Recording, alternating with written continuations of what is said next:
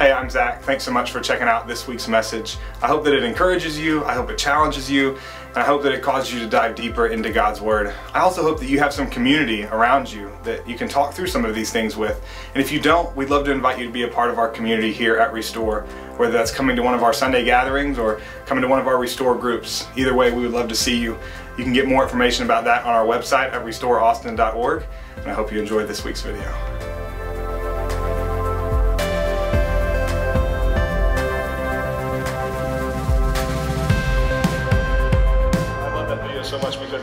A minute and a half, and, and yet it just tells you so much about who we are as a church and what we're about and what's important to us. Um, and like I said a little while ago, this morning we are in the last week of our family values series. And it's just been a series looking at what we as a church family here at Restore value. And we're calling it family values because we believe that the church is not um, a building, the church is not chairs, the church is not a band or a preacher, the church is people. And it's a group of people that come together and rally around each other and walk through life together. It's a group of people defined by some of the stuff that were was on that screen just now. We spent the first four weeks looking at these core values of who we are as a church grace, authenticity, diversity, and partnerships. And we spent a week going over each one of those things. If you didn't, if you missed any of those or would like to know more about what those specific values are, those are available online. I'd love for you to go back and watch those. But today, we're kind of talking about how all of those things culminate together and propel us forward as a church. We're talking about really the mission that God is on in us and through us. We're asking the question, what's next? And here to help us answer that question is our good friend, Christian Brimstone. So, one last Christian Brimstone video. Take a look.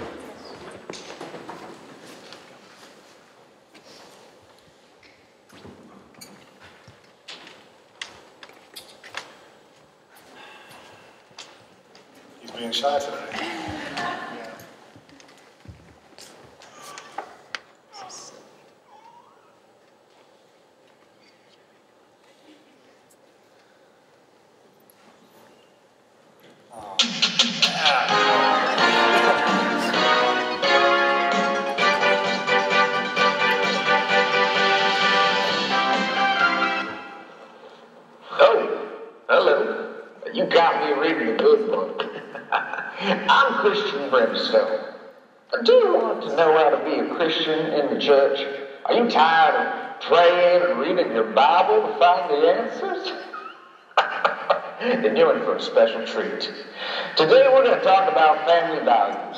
Teach you the principles for Christian living in the church.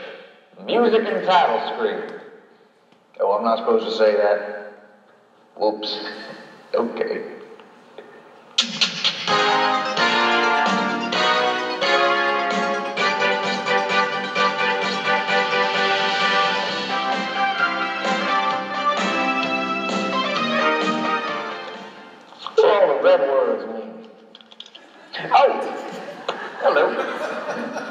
Got me reading again. It's Christian Brimstone here, but I think you already know that. it's that time in our series where we get to ask ourselves the most important question.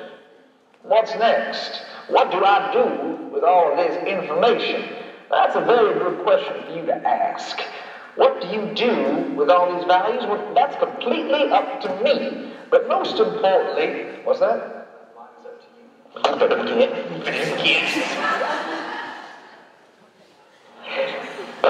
But most importantly, you need to remember that if you are not a licensed minister, well, you can only do so much.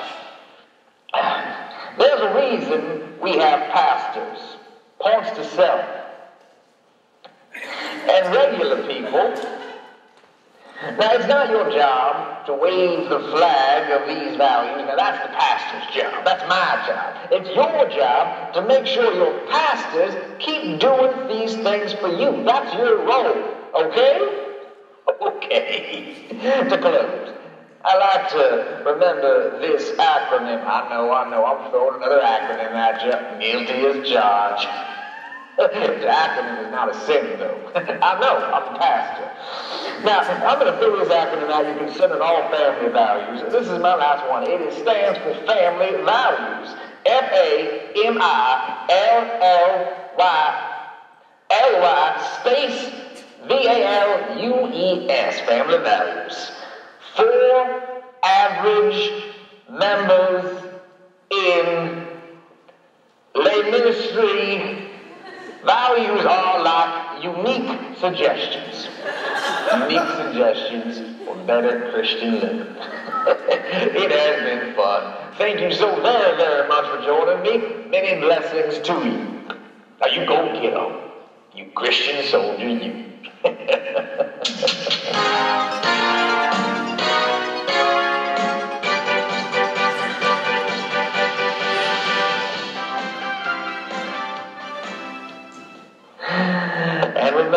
need an ark, well, I know a guy.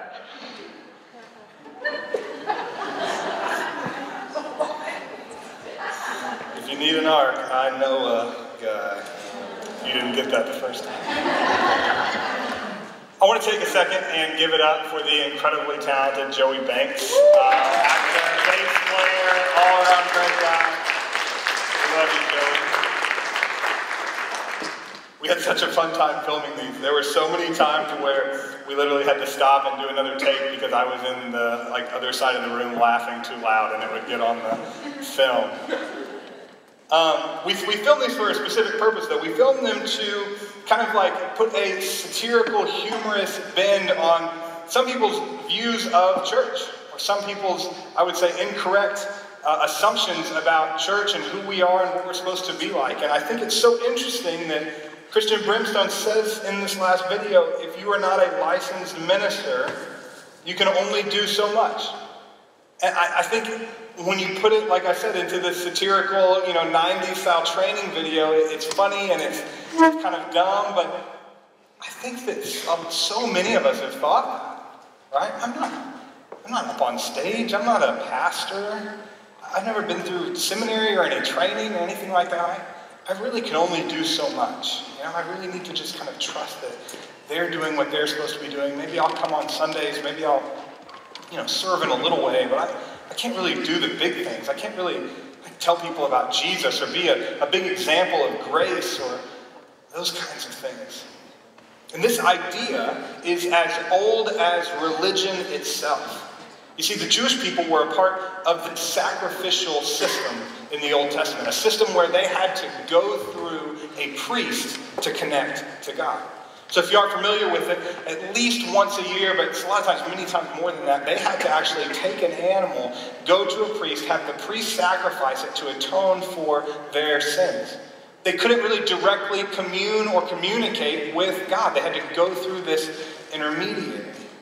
Not only did they have to go through a priest for forgiveness, their mission was massive. It was over 600 laws, 600 do's and don'ts of things that they constantly had to be thinking about and remembering and enacting. And every time they failed, which was often, they had to go back to that same priest, bring that sacrifice, and, say, Would you just talk to God about this? I, I, know that he's, I guess he's upset with me. I don't know. I, I just, could you talk to him about this me?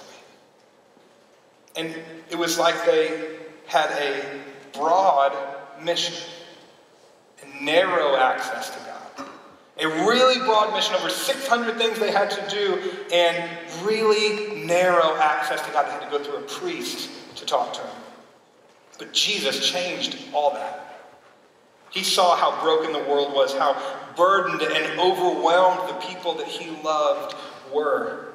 And his great love for us drove him to leave the perfection of heaven, come to the brokenness of earth to live that perfect life that none of us could ever live. And that same love drove him to the cross to die the death that we deserve. And then was raised to life again to give us access to life. It was his great love that drove him to that. And it changed everything. Before, we had a broad mission 600 plus laws and narrow access to God through priests. But now we have broad access to God and a narrow mission. Let me explain what I mean by that. Now, we have direct and constant access to God through the Holy Spirit. We don't have to go through priests anymore. 1 Peter 2 9 tells us about this. It says, But you are a chosen people, a royal priesthood, a holy nation, God's special possession, that you may declare the praises of him who called you out of darkness into his wonderful life. No need to go through an intermediary, no need to go through a priest anymore. We are priests now. We have direct access to God at any point, at any time, every moment. Hebrews later, that same chapter says that we can be before his throne of grace whenever we want. We don't have to travel anywhere. We don't have to bring sacrifices anywhere. We don't have to ask anybody's permission. Right now, you could close your eyes and you could be in the throne room of God, communing personally with him because of the Holy Spirit that indwells you. It's an amazing thing. But Jesus not only broadened our access, broadened the priesthood, he narrowed the mission. You remember the mission before was to follow tons and tons of laws, but now it's simple. It's narrow. Jesus gives it to his disciples in Matthew 28, 18 through 20, a passage widely known as the Great Commission.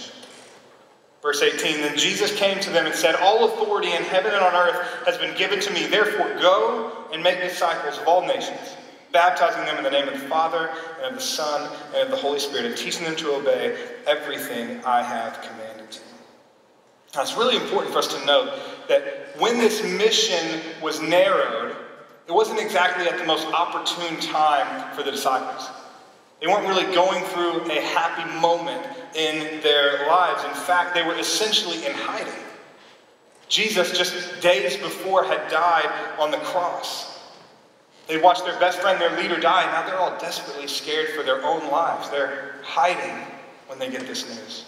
But after the tomb where Jesus was buried is found empty by Mary Magdalene, she rushes to the disciples to tell them not only is Jesus alive, but he wants to talk with you. He has a message for you. And that very same day, he appears to them and gives them that simple mission go and make disciples of all nations. Go and tell the world my story. The thing that I've been doing with you for the last three years walking through life, teaching you, talking with you, being there through the ups and the downs, through the hard times and the good. Go and do that with everybody that you encounter. Can you imagine being in the disciples' shoes here? Just moments before they still thought their best friend and leader was dead, now he's standing before them and telling them to Go out and tell the world about who he is, the same world that just killed him. He's saying, Don't be afraid. Go out and do what I've done with you. I'm sure they were standing in front of Jesus with wide eyes, right? And, and racing hearts. I bet they felt so incredibly overwhelmed. And that's why I love the last line of the Great Commission so much. At the end of verse 20, Jesus says, And surely I am with you always to the very end of the age. That term, surely, is a term used to remind someone of something, to bring back a memory of something that has already happened. Jesus basically saying, Remember what I told you. I am with you always. And that sentence would have, would have triggered the disciples' memories. They would have remembered the words of Jesus just a few nights before as they sat around a table during that Last Supper. They would have remembered him. You see, on the night before Jesus laid down his life on the cross, he gathered up his disciples for one last meal together. During their time that night, that started off rather innocently, just celebrating the Passover like they'd done every year together, it quickly turned into something very different. Jesus predicts his betrayal by Judas he predicts that Peter was going to deny ever knowing him, and then he goes on to predict his own death. Not exactly dinner party conversation. And even though it wasn't the first time that Jesus talked about his death, I really think that for the disciples sitting around the table that night, it was the first time it really started to sink in. They really started to understand a little bit about what was going to happen next. They start to worry they start to get scared for their own lives, as well as the life of their best friend who is saying he's about to die. Their worry and their fear, understandable, right? And I can't imagine being in their shoes. They just arrived in Jerusalem a few days before with this red carpet treatment. Remember that they, they walk into the city on Palm Sunday and people are laying down coats and branches and shouting, Hosanna, God be with us. All the disciples are, are walking behind Jesus and they're like rock stars. I, it, really was amazing. It was the height of Jesus' ministry here on earth, and yet a few days later, as the disciples are preparing for what's next, they're thinking, oh man, Jesus is about to do everything we've always wanted him to do. He's about to take, take back everything that was stolen from us by the Romans. He's about to kick them out. He's about to lead an army into war, remove them from power, and then point us to rule next to him. All of their dreams they thought were coming true. But that's not what was going to happen. They were beginning to see that night that Jesus had a very different plan. And they're scared. They're scared not only because the plan that they thought was going to be enacted is not, but they're scared because now their best friend's going to die. They don't know what's going to happen to them either. And it's in that moment, at the height of their fear and anxiety, that Jesus makes an incredible promise. John 14, starting in verse 15. Jesus says, I will ask the Father, and he will give you another advocate to help you and be with you forever the Spirit of truth. The world cannot accept him because it neither sees him nor knows him, but you know him, for he lives with you and will be in you. I will not leave you as orphans, I will come to you. In that moment, at the height of their fear, Jesus promises the Holy Spirit, our advocate when we are weak, our peace in the midst of chaos, our healer when we're hurt, our comforter when we're broken. The world can't see the Holy Spirit, but Jesus tells the disciples that they will know him because he resides inside of them. Then, Jesus goes on not only to predict his own death and resurrection, he actually predicts the very moment we just read about when he gives the disciples the Great Commission. The next verse, verse 19. Before long, the world will not see me anymore. He's saying, I'm, I'm going to die in just a few hours. I'm going away forever. But you will see me. I'm going to reappear to you. And because I live, you will also live. And then on that day, you will realize that I am in my Father, and you are in me, and I am in you. On that day. Well, that day came for the disciples when Jesus rose and appeared to them just days later and gave them their mission. And on that day, Jesus reminds them of what he had said just a few nights before I am with you always. That through his Holy Spirit inside of them, he never leaves them. But why does that matter for us? Right? Well, here's the thing that mission isn't just for the disciples. That mission has been given by Jesus to every single member of God's family who has ever lived, including our family here at Restore. We have been called by Jesus to make disciples, to go and tell his story to everyone we can to enter into relationships with people just like he did, to walk through life with them, to care for them, to be there when they need us, to never let them go, no matter who they are or what they've done. Wow, that can feel impossible sometimes, right? That can feel so overwhelming. And just like the disciples, I think that we hear that and we immediately start feeling inadequate. We start feeling like, I can't do that, though. You hear me say that, and you say, fact, you don't know what I have going on, though. I mean, you don't know how busy I am. You don't know how much pressure's on me. You don't know what, what, what my family's going through. You don't know what I'm going through. I can't do that.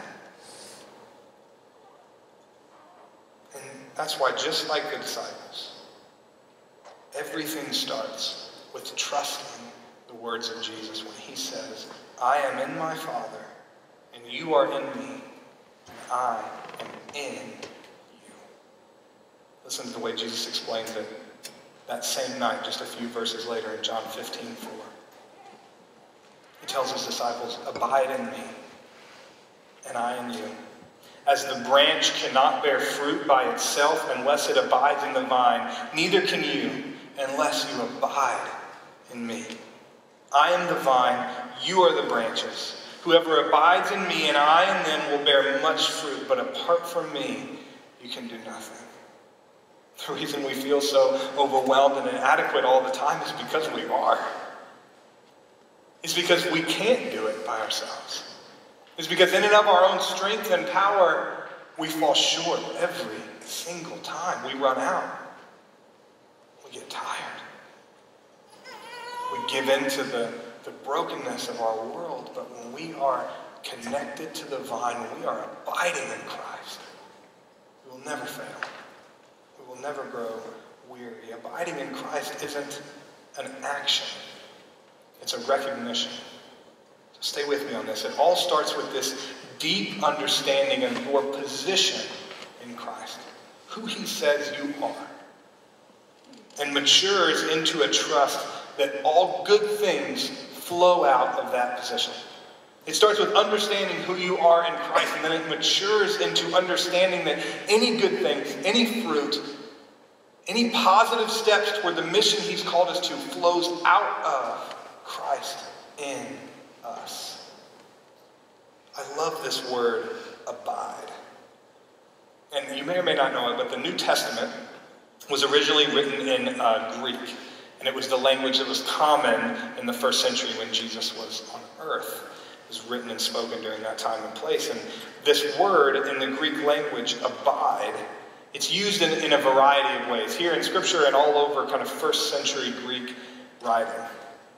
But my favorite is this term of hospitality. And it was used when, like, a, a weary traveler was, was passing through a city on a journey barely able to put one foot in front of the other after walking such a long way.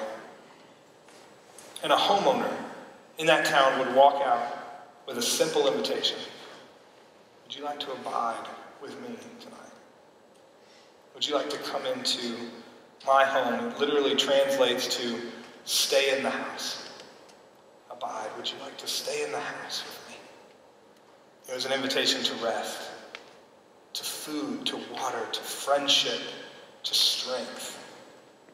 It was an invitation to stop trying to just push through, to stop trying to make it to the next town, to stop just putting one foot in front of the other because, my friend, I see you, you're about to collapse, so just come and abide for a little while. Just put your feet up, take a rest, have a meal. And even if it's just for a night, abide in a place where your needs can be met. And abiding in a place is great. You probably even have a place like that. Maybe for you, it's, it's a garden. And you like to, to get out there and get your hands in the dirt and, and start planting things, watering things, and seeing things grow. And that's a place where when you go, you just abide there. And it gives you strength. Maybe it's your patio. You go out, you overlook a backyard or a front yard, and you just get to sit for a little while in the peace and the calm and look at the nature that God's created. Maybe it's your favorite coffee shop with your favorite drink.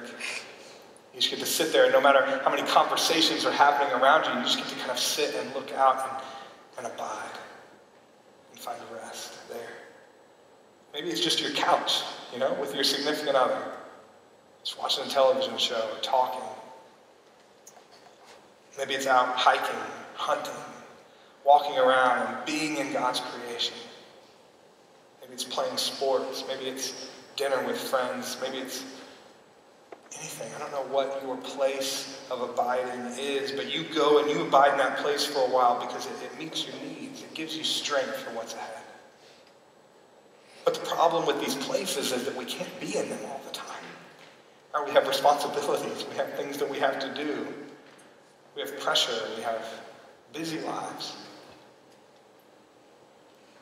We have to keep coming back to them or we quickly get weary and overburdened.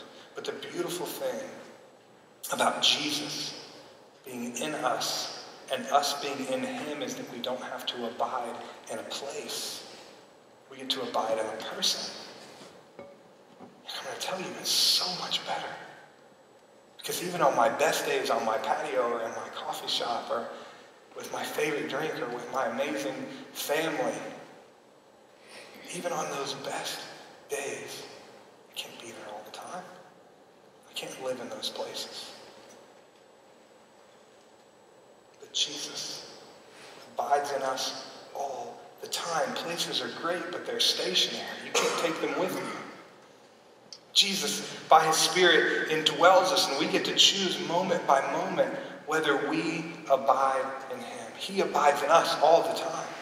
He is our provision, our place of rest, our strength when we're weary, our food and water when we're hungry and thirsty, our comfort when we're in need, our healer when we're broken. He is all of those things to us all of the time. And now, for us, we get to choose whether we abide in Him. Whether we try to do things on our own strength or His.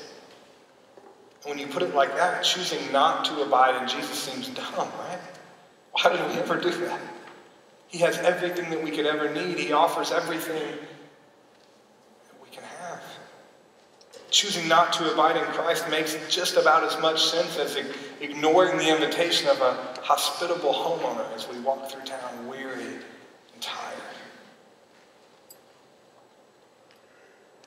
Because we're too proud or too self reliant to admit that we need some help.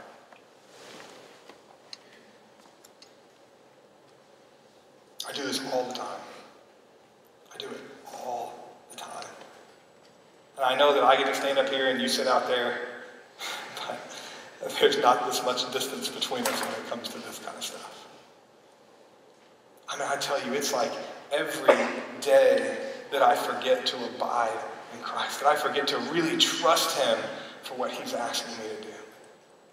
Sometimes it's, it's big stuff, you know, sometimes it's, it's weekly stuff like prepping a message, or sometimes it's just getting out of bed in the morning, and I'm like, God, I can't do this. And He's like, I know.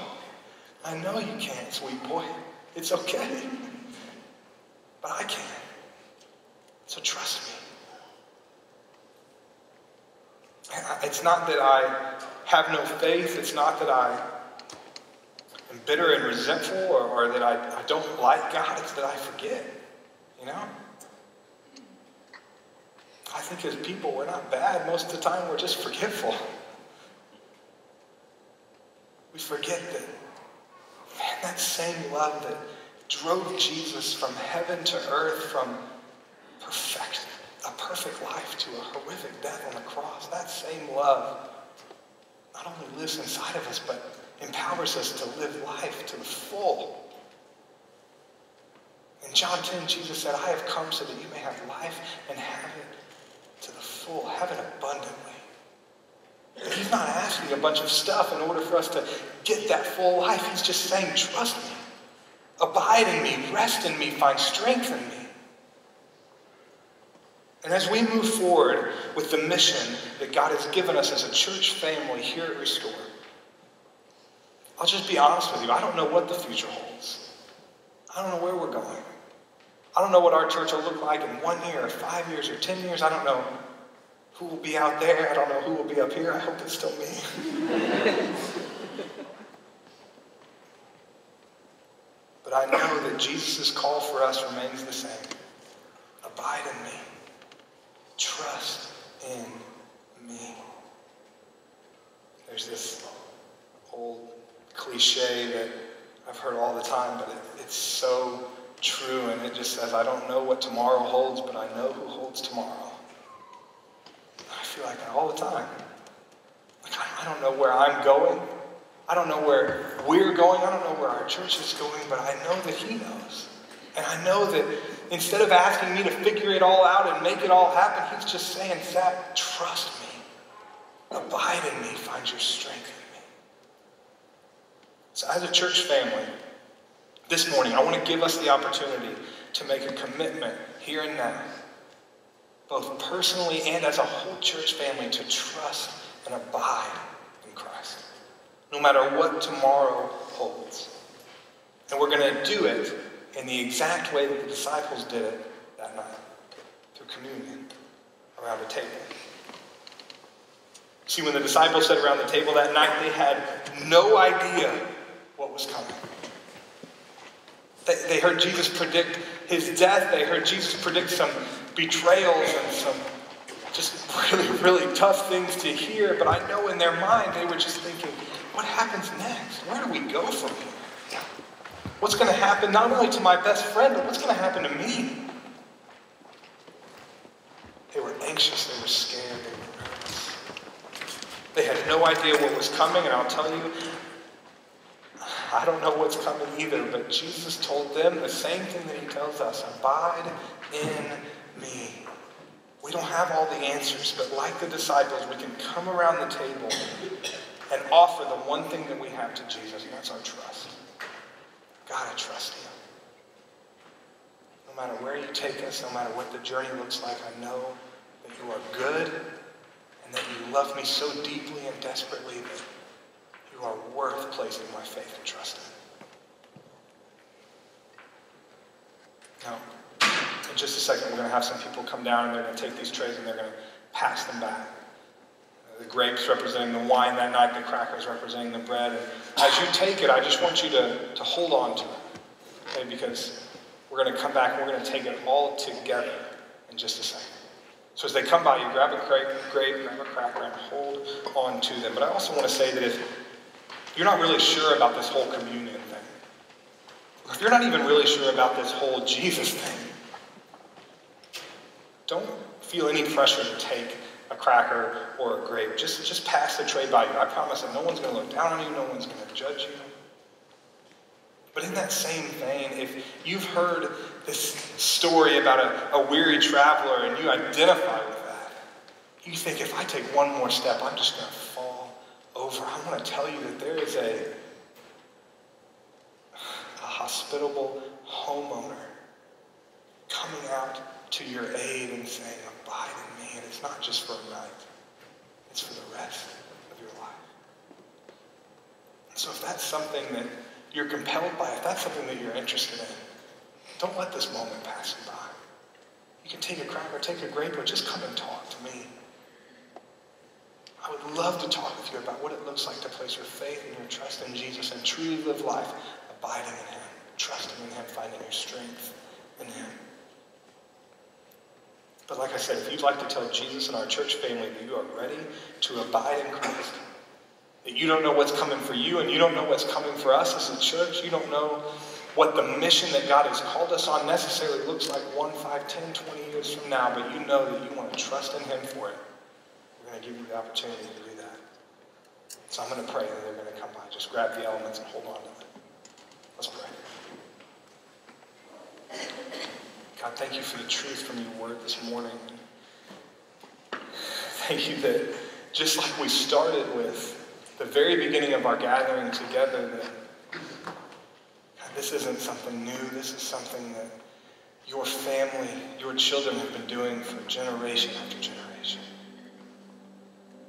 That our brothers and sisters have been walking through these same issues, asking these same questions and weary from the same burdens for thousands of years. Tonight, that night, the disciples were around that table. They didn't know what was coming next. And just like us this morning, you gave them those simple word of encouragement, God. Abide in me. So I pray that in this moment, as these communion elements come by, God, that we would hold on to them, that we would remember what you said. Remember this great mission of restoration that you're on, and we would trust and abide in you no matter